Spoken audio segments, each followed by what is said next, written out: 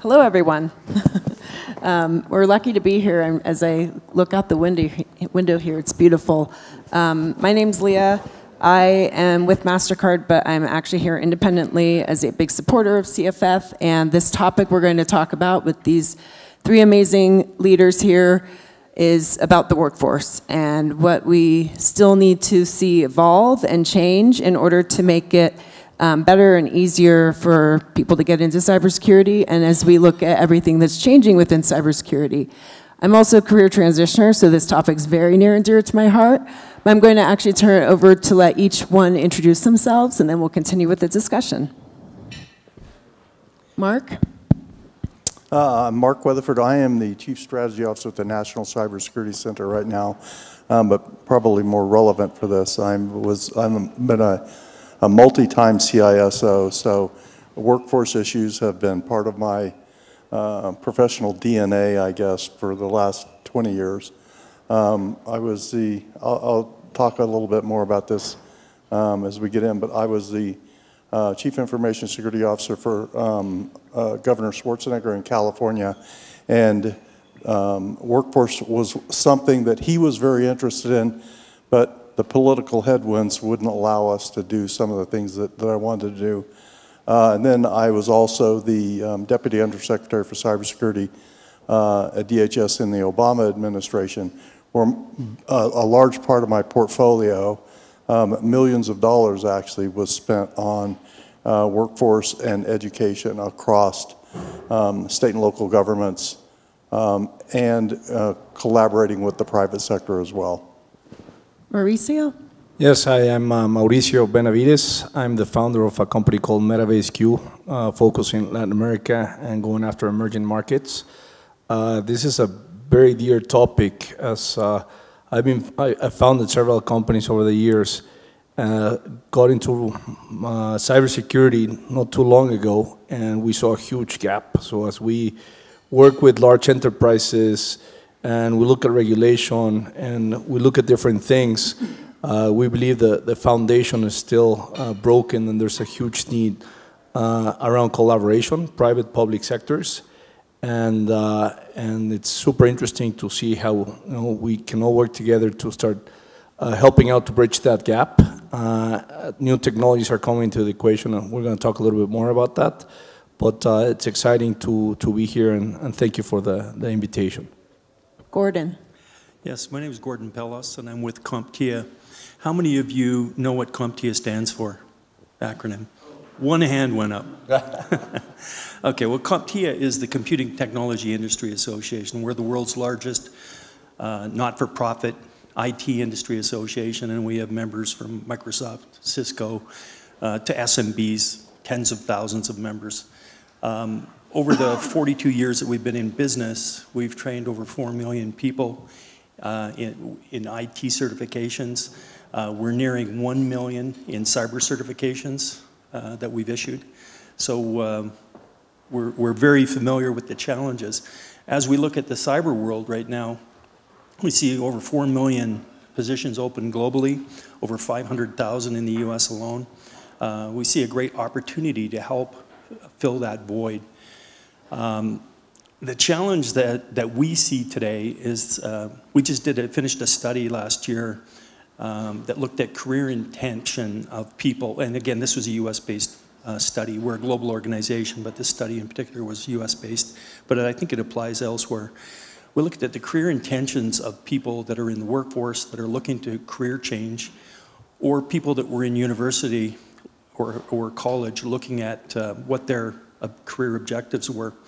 And what we found that of the 46 million people that, is, that fell into one of those categories, 13% um, indicated that they were interested in a career in technology. 13% of the 46 million in the US. And then when we took a look at that 13%, it was a, a little over three, approaching 4% that were considering cyber as a career. And so one of the problems that, that I see that we have is that uh, we don't have enough um, candidate pool. We need to increase the candidate pool, uh, people that are interested. And uh, I attribute part of the problem to the, the STEM push that we saw for years uh, in America in particular. Um, and, and what that did, you know, it did a lot of good things, but it also did some things to, to young people and to families where they, they said, hey, I'm not smart enough to work in tech. I don't have a strong STEM background. I didn't excel in that in school. And that's, that's a misnomer. That's not true. People can work in tech without a, a strong STEM background. And so, um, you know, we need to do a better, do a better job of marketing um, the career opportunities in technology. Um, we need to start with K through 12. We need to work community colleges. We need to work universities, and we need to work with employers uh, on upskilling and reskilling uh, to attract people into these jobs. We're definitely going to dive a lot more into what each of these gentlemen mentioned um, in this discussion, but one thing I definitely want to bring up, and as we've been coming off the conversations, the last few conversations around AI, uh, is what is what are your views when it starts intersecting with humans and then the workforce? Um, personally, for me, I, I'm for AI, but I think we have a long ways to go. I think it'll actually help create more jobs. Um, it'll be a matter of different skill sets. I don't think it's going to eliminate humans necessarily. Um, and I think we need uh, more, you know, the, the uh, better skill sets, different skill sets ra rather, when it comes to AI. And I think in some ways AI and automation can help with um, what we're trying to solve for in the workforce. But if each of you can share some thoughts on this. Um, Mark, if you want to start, please. Yeah, so this may be a uh, counterintuitive um, thought, but I, I think, so one, I mean, we, as we see technology advance, it, always changes the workforce. And, and I think many of us have, maybe not, I made the mistake um, uh, several times during my career of, as technology changed, um, trying to um, re-educate my existing workforce to match the new technology. And the one thing that comes to mind is early in the cloud days, I thought I could just take all of my, my, my staff and make them uh, move from client server to cloud, and um, it didn't work so well. Uh, you know, there was a there was a significant amount of of, you know, formal education, formal training that had to occur there. So I think, um, and we're already starting to see this with Gen AI, you know, with, um, that it is automating so many of the existing tasks um, that we are in fact seeing a, a different impact on the workforce than perhaps we have seen in the past, where jobs um, certain cybersecurity jobs are truly going away. Um, you know, and I, have talked with many of my friends um, in the community right now, and uh, companies that may have had 20 or 30 SOC analysts on staff, um, you know, they don't need that many anymore. You just need people that can know how to ask really good questions of, of chat GPT, if, if you will. So I think there's going to be um, kind of a rejiggering of uh, of the talent requirements, the, the actual security talent required to run an operation. And that's kind of everything i I, I look at everything through the lens of, of operations. How, what does it take me as a CISO to keep my organization running day to day? And I, and I think AI is, is Gen AI, I should say, specifically. Gen AI is um, helping in the short term the longer term, I, you know, TBD. No, all good points, and especially around the SOC analyst. I hear that a lot too. Mauricio, I know you have some um, thoughts around this as well. Yeah, just just just to complement on that. Now, one of the things that that at least we see is 12% uh, of our workforce never went to school. So I think it goes back to what Gordon was saying. You know, it's like we just need to find that talent. Uh, and sometimes the other ones is you find out, you know, there's lawyers that want to do something else, or there's people that hate their jobs and all of a sudden want to do something. And when you when you take a step back, it's like there hasn't been any real training. You know, it's like you go to universities and where are the degrees? You go to one to twelve, and what do you see books talking about cybersecurity? You never do. So, I think it's an interesting thing. And for example, one of the things on AI I think the world is going to move towards that direction no matter what. It's going really, really fast. I think it's just more on how we're going to use it and how we're going to complement it. No, when uh, the phones came out, people were thinking, well, now the apps are just going to take a lot of things out, and just a totally completely new industry came out of it. You know, people started building apps, people started downloading apps, started looking at it. So one example on how we're utilize, uh, utilizing AI, we, we did a, a cybersecurity academy free for students so we can attract talent to it.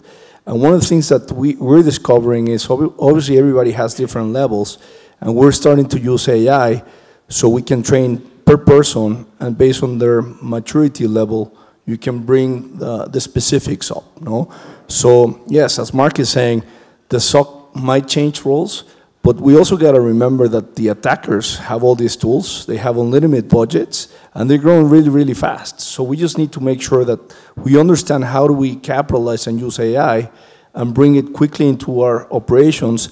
And the tough thing, I think, is having the right people in place on our, your R&D labs or in different places where we can set up a base where the rest of the people can use and help bridge that gap as we're talking about how do we train people faster in a way that they don't feel that, oh, I don't want to touch it because it's too complicated because there's too many aspects on it. And with AI, you can actually get there so they feel comfortable that they're at the right level and they're getting, you know, better and better and better. So.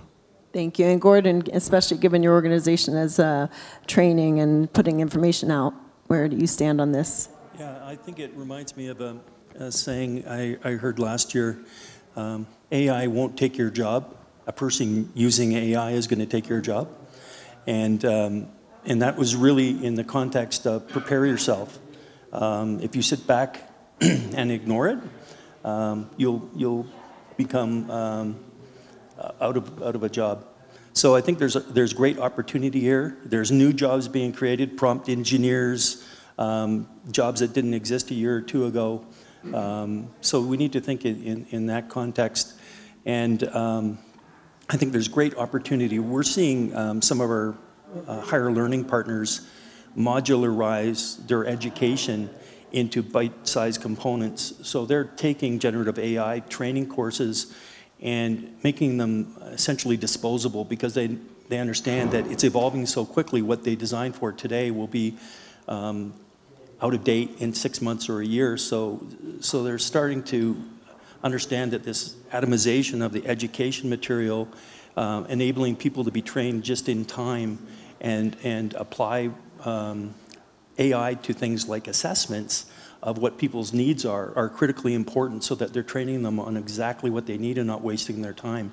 So, you know, as you look at a, say, example of a four-year degree program, there's a bunch of things in there that are um, a person may already know or may, may be redundant if they've been in the workforce.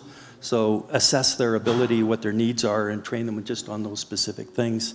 So there's great ways to use it, but will it deplay, uh, replace people? No. Not, and perhaps 20 years out, 10 years out, maybe, but not today. Thank you. So you all touched on, um, you know, how the di different skill sets will need to be applied, how it won't necessarily replace humans, but how we need to train humans to help with the, you know, as we go further within AI and the tools that we use and um, the governance around it. But when you think about all the people that are out there that still want to get into the industry in cyber, and I do, I mean, some of us hear the talent shortage, which I completely disagree with that, and I think it's BS. um, because there's plenty of people out there who want to get in. So when you think about from an organization or a company to the hiring manager to HR to um, the way that it's done today, you know, from continent to continent, to try to get people in or to try to hire candidates that are skilled or um, you know, there's even the very high, uh, unrealistic expectations when it comes to adopting and um, grooming that talent to break in. But if you can talk a little bit about what are some ways and ideas that you have or things that you've done to help that along, um, especially, you know, how, do, how we position or market it today, and do we need to change there as well? Um, Mark, if we can start with you. Well, I think there's a hmm, there's a difference between the public sector and the private sector. And at least in the United States, I think there there is a I wouldn't call it an expectation mismatch, Um, but there's a, um, there's a, maybe a, a skill mismatch, or skill misunderstanding is probably a better way of saying it, where um, many government organizations still have these very archaic um, kind of uh, guidelines for hiring people into technical positions like cybersecurity.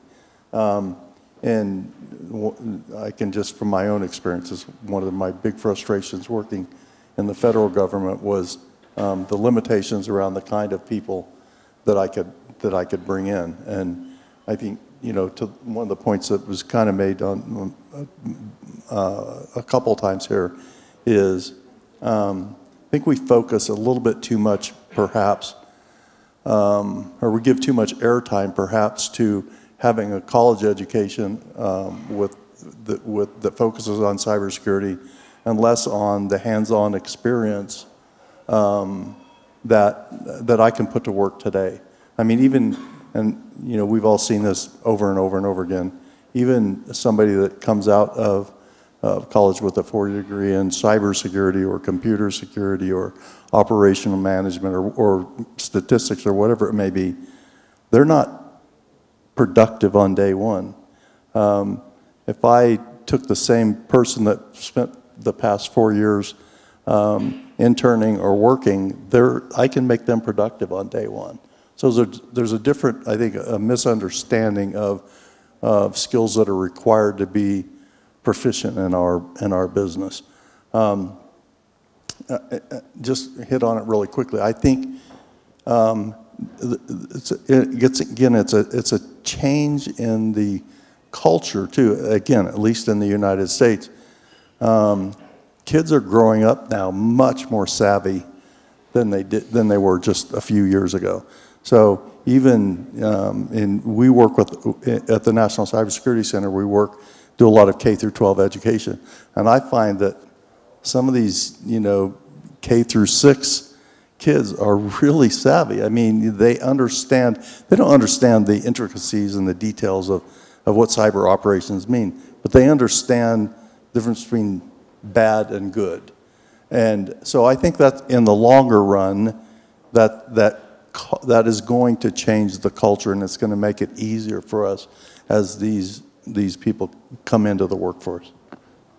Thank you for that. Mauricio, thoughts? Yeah, so, so, so one of the things that we're seeing in, in Latin America is, and it, it happens, I think, everywhere, where somebody wants to learn and is passionate about something, they quickly come up uh, and learn about different things. You know? Uh, we do believe in what we're seeing that you need the private, the public, and the global collaboration because the threats are the same everywhere. Just the level of maturity of the companies is different. So you, you hear all these global corporations like focusing on you know the U.S. or Europe or but what about the rest of the world? No, you're deployed in Asia, in Africa, in, in Latin America, and it's like you could have a no. You're you're as strong as your weakest link, right? So if in your infrastructure you have something that's you know not as strong somewhere else, then you're always going to be weak no matter what you do anywhere else. So why, why am I saying that it's, it's the private, the, the, the public, and, and the global collaboration? Because I mean, we've been talking about it that you need to start early on. I think we underestimate the new generations because they're coming very savvy on things. I mean, I was very surprised, and I'm very surprised to see uh, people that don't go to school that quickly pick up on things, and that's the type of people you need protecting because that's how the attackers are. No, the, the organized crime in, in, in Latin America, for example, is huge. And they get kids that are 10, 12, 14 years old, they start paying them and they become super savvy. And that's what we're facing all of our issues against. So how do we quickly, using AI and other type of tools, help identify that talent, uh, train them, and help in a global perspective and on that collaboration to take it to a next level. And you were asking about the skill sets. I mean, one of the biggest issues is people don't even know what they're hiring for. You know, it's like you go to HR and there's like, okay, we need a cyber guy. And, uh, you know, our customers calls us is like, what does that mean? Who should I be looking for? What type of experience? I never find anybody. Only the banks have them. And there's like five guys. And they, they get fired because they don't know, and it's not their fault because they've never been trained. But then the other guy in desperation hires them again. So I think there's a lot of opportunities that we all need to work together and collaborate to ensure, you know, the, the- the global protection is there. And again, we're going against attackers that have unlimited budgets.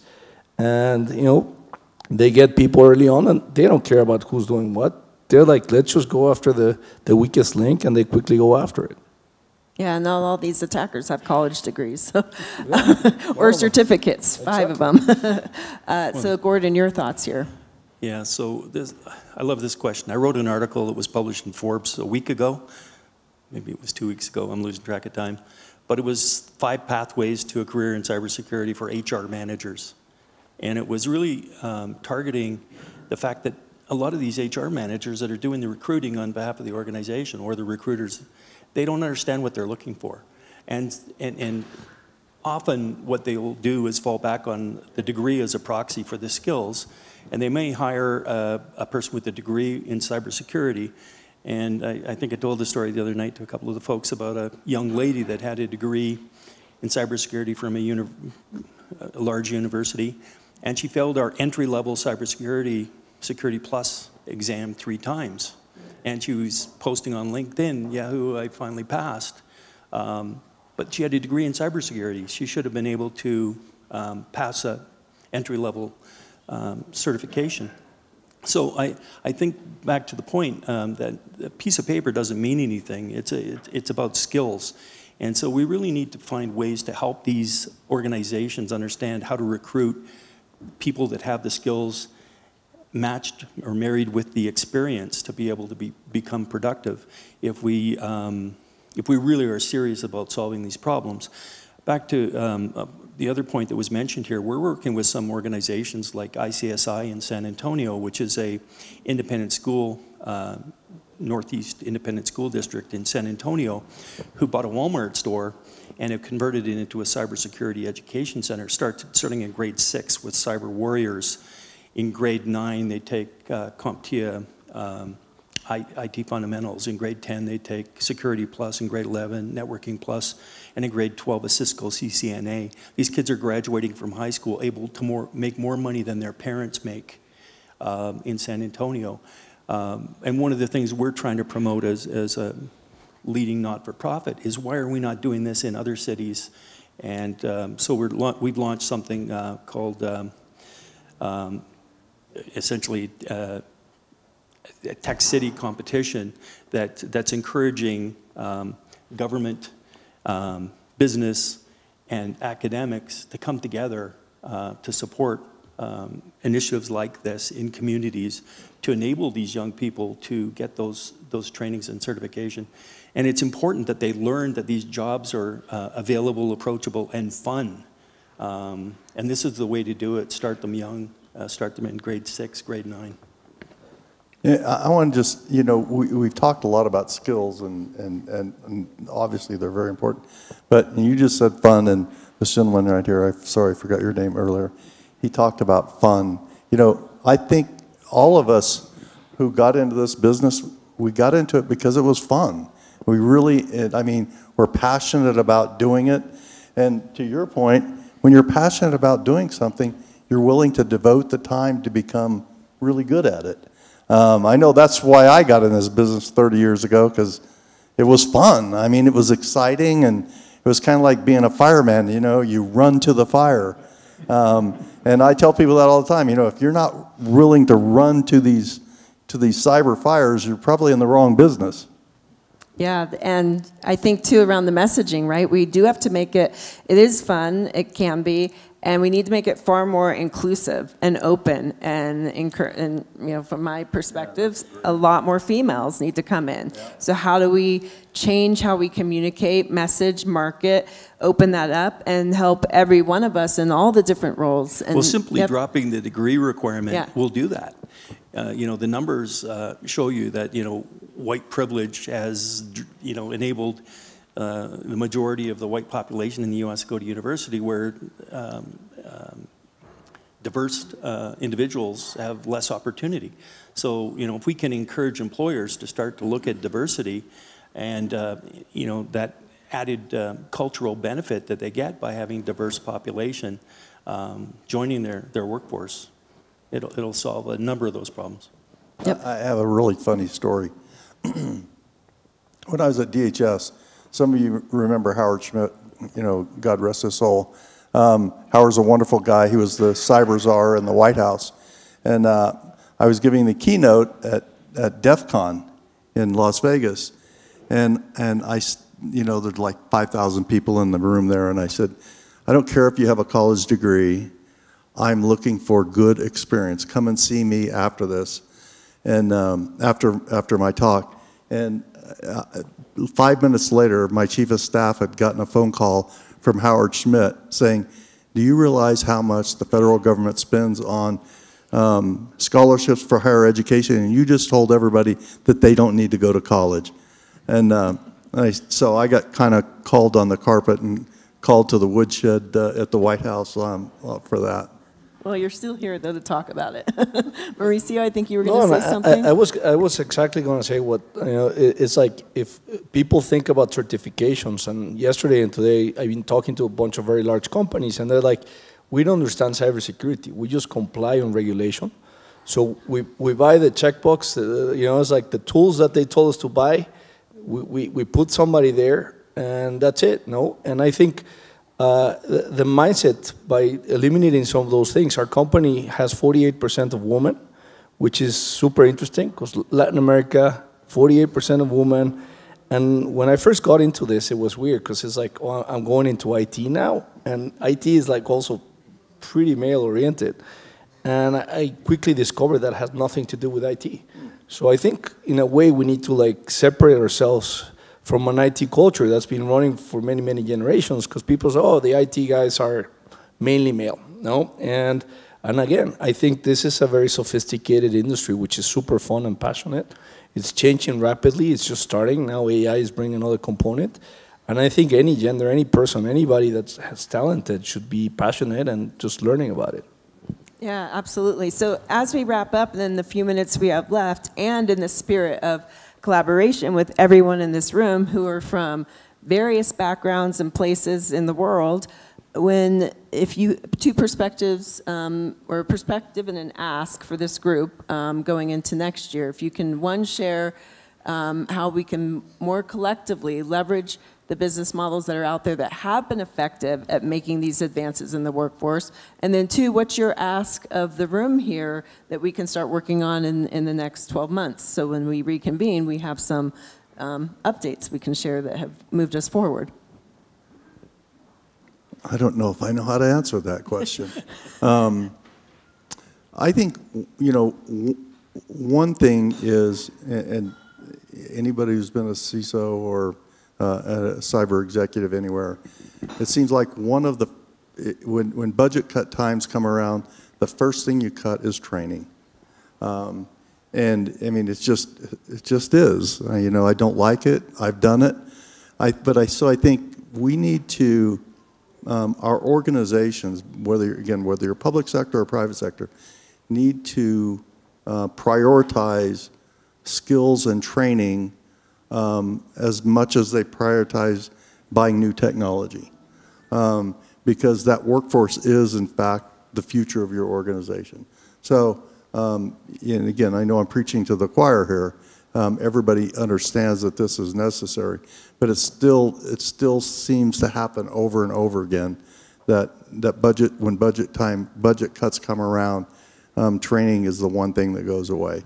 Um, I would say, the, the other thing, and again, we talked about it, I am, I am giddy with excitement over um, Gen AI and the difference it's going to make in our organizations, um, and the ability that, that it's going to up-level um, our ability as security technologists to do our job better. Thank you. Mauricio?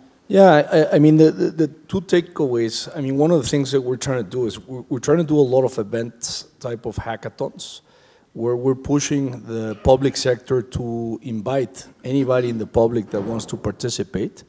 And then also on the private side, any private universities, uh, private companies, just, just to get the word out there and just to, to show that this is not a boring industry, but the opposite. So just to get people and, and start finding talent. Uh, so I think I think that that's one of the things that we want to do this year a lot. To Try to find you know tons of uh, people that are passionate about this industry that we can identify where the talent is, and then try to bridge the gaps between companies and uh, and talent. And then number two is, I mean, we're in Davos. I think uh, the WEF is every year taking this more seriously. The cybersecurity hub, um, it's it's it's getting some interesting momentum. Uh, some of the people here participate on it. I think there's a lot of really interesting things happening there. Uh, articles are coming out, things are coming out, and we should try to push and leverage all that, you know, to, to, to drive that global collaboration. Because as I was saying, it's not by region, it's not by country, it's not by company. It's it's it's a big threat globally. You know, it's like we're going against a huge number of attackers, over a trillion dollar industry uh, unlimited resources, and that should be our focus. So we should push the WEF to do more and more and, and see how we can continue bringing uh, you know, our learnings from other places. Gordon, parting thoughts and your ask to the group. Yeah, I, I think that um, my ask is think about skills versus schools. Um, I know I talked to a lot of executives, and I, I, I, recall a conversation recently with one that said, yeah, that might be our corporate policy, but I've never hired anyone without a degree. Uh, the degree gives me an assurance and a, um, of, of a certain level of competency. Well, that may be true. It certainly isn't an, an, a, a, a uh, certification of skills. It's a um, you know willingness and having the, the uh, ability to pay for four years of university.